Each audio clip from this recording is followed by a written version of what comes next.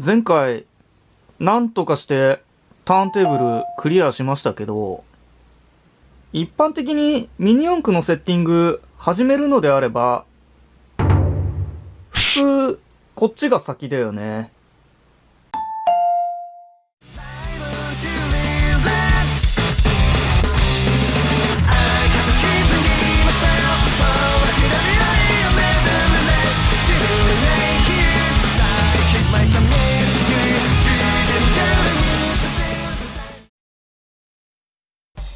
いうことで今回は MA シャーシーファーストトライパーツセットを使ってマシンの走行安定性を上げていきたいと思います。あれ？使ってるシャーシー？VS シャーシーじゃなかったっけ？えー、ひとまずはパーツの中身を見ていきましょう。はいご覧の通り中にはたくさんのパーツが入ってます。今回セッティングしていこうと思うのはスタビヘッドプラスローラーセッティング。装着例がありますが一体なぜこのようなセッティングになるのか。前回の走行をもう一度確認してみてその理由を見つけていきましょう。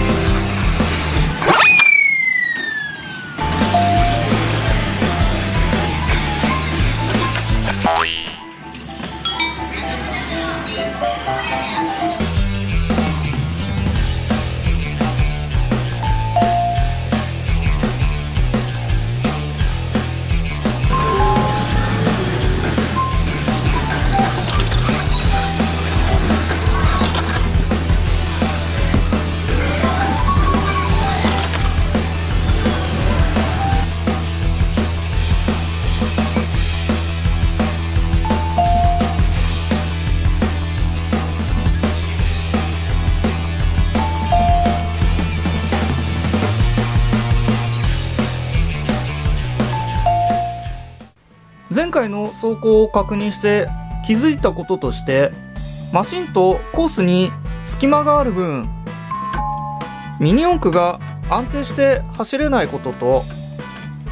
レーンチェンジではマシンが傾いてしまいコースアウトする場面がよく見られました。それでは MA シャーシファーストトライパーツセットを取り付けていきますが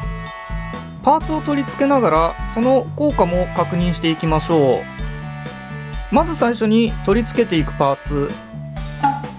FRP フロントワイドステーこれ単品で買おうと思うと多分 AR 用とかって書いてあると思うんですが。こちらを VS シャーシに取り付けてみると。はい。アンダーガードを取り付ける兼ね合いもあったので 12mm のビスを下から伸ばして上から AO パーツロックナットで留めてみました。この FRP プレートとアンダーガードで従来のバンパーを挟むようにして取り付けたところよりバンパーの強度が上がったのとワイドステーということでローラーをワイドな位置にセットできコーナーでのパワーロスを減らします。ということは実際に取り付けてみるとはい。先ほどよりもローラー幅が増えたことでコースとの間の隙間が少なくなりコース内でのふらつきもいくらか少なくなるでしょう。リア側も同じような目的で